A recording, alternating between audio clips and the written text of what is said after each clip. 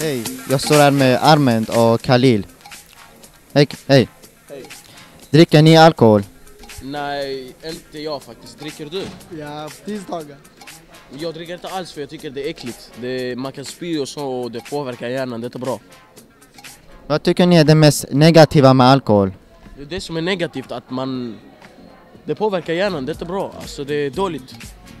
Jag står här med Jasko från mediegymnasiet. Hej Jasko. Dricker du alkohol? Ja.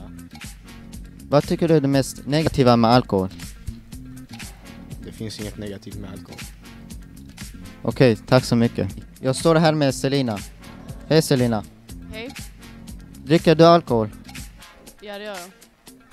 Vad tycker du är det mest negativa med alkohol? Att när man är för full så gör man dumma saker som man ångrar sen. Jag står här med Tjenar. Hej Tjenar. Hallå? Dricker du alkohol? Nej. Vad tycker du är det mest negativa med alkohol?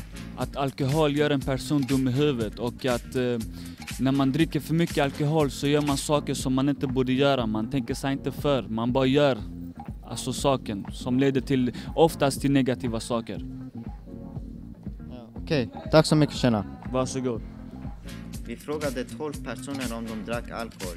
Nio sa ja och tre sa nej. Två personer började dricka när de var 12 år. Fem personer började dricka när de var 13 år. Och två personer började dricka när de var 14 år. När vi frågade dem hur ofta de drack svarade de Två personer drack en gång per vecka. Fem personer drack en gång per månad.